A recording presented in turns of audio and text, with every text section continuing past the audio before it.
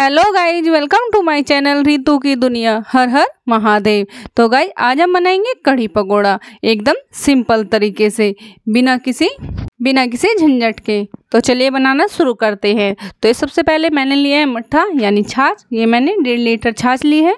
तो इसमें मैं एक कप से थोड़ा कम बेसन डाल दूँगी। इसे हमें अच्छे से बेसन को मिला लेना है। इसमें कोई गांठे ना, ठेना पड़े। तो इसे अच्छे से मिला लेना है। हमें इसका एक पतला सा घोल तैयार कर लेना है।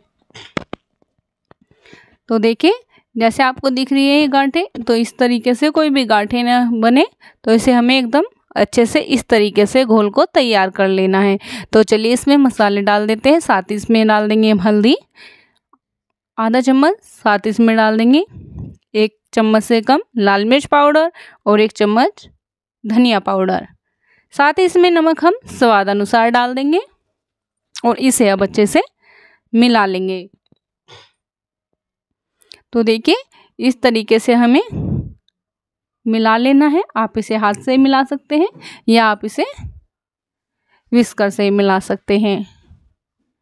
तो देखिए, इस तरीके से पतला एकदम घोल तैयार कर ले। चलिए इसे साइड रख देते हैं। तो ये मैंने दो प्याज ली है, जिसको मैंने थोड़ा लंबे में कट कर लिया है। तो आपको इसी तरीके से प्याज को कट करने हैं। आज हम एकदम सिंपल तरीके से और बहुत ही आसान तरीके से कढ़ी बनाने जा रहे हैं। तो गैस ऑन कर लें, गैस पर रखें कढ़ाई, और उसमें डाल देंगे हम तेल। तेल को अच्छे से गर्म कर लेंगे।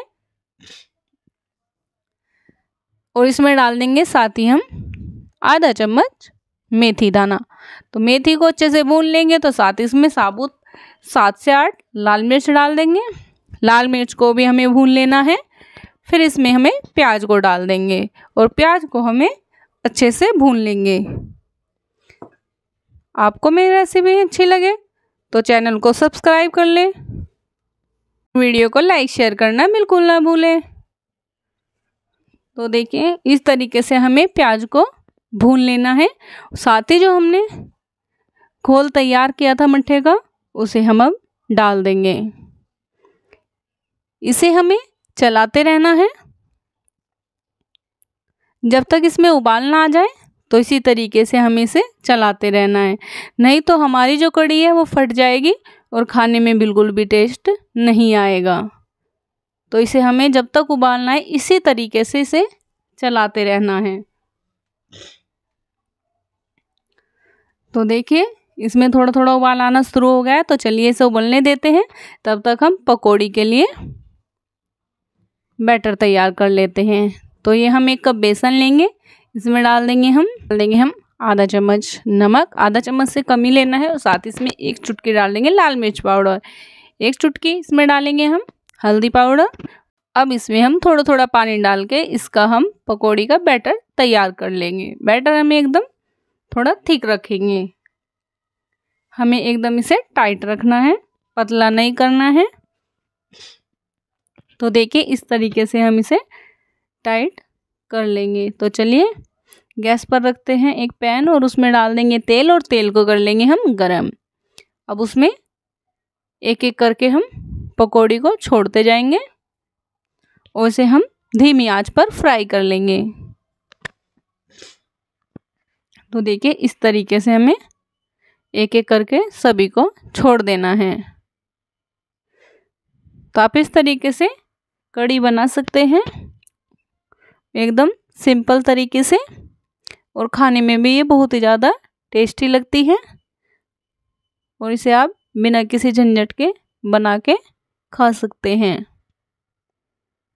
तो देखिए, अब इन्हें हम एक तरफ़ से, हमारी जो पकौड़ी है, अच्छे से फ्राई हो गई है तो दूसरी तरफ़ से पलट देंगे।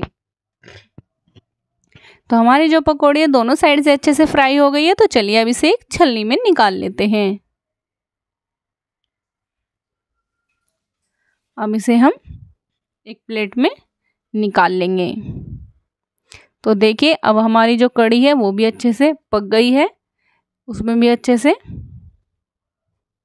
उसमें भी अच्छे से उबाल आ रहा है। तो देखिए, अब इसमें हम पकौड़ी को डाल देंगे और इसे पाँच मिनट के लिए दोबारा से पकने के लिए छोड़ देंगे। तो देखिए, जो हमारी कड़ी है, उसका कितना अच्छा कलर आ गया है। और अब कड़ी जो है हमारी अच्छे से बन के तैयार हो गई है। तो चलिए अब इसे गैस बंद कर देते हैं और इसे गैस से नीचे उतार लेते हैं। तो अब हमारी जो कड़ी है बनके तैयार हो गई है। चलिए इसे सर्व करते हैं। तो ये चावल के साथ अब इसे हम सर्व करेंगे।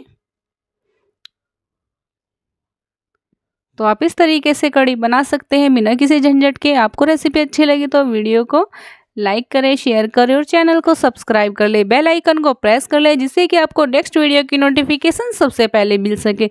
मिलते हैं आपसे नेक्स्ट वीडियो में। तब तक के लिए हर हर महा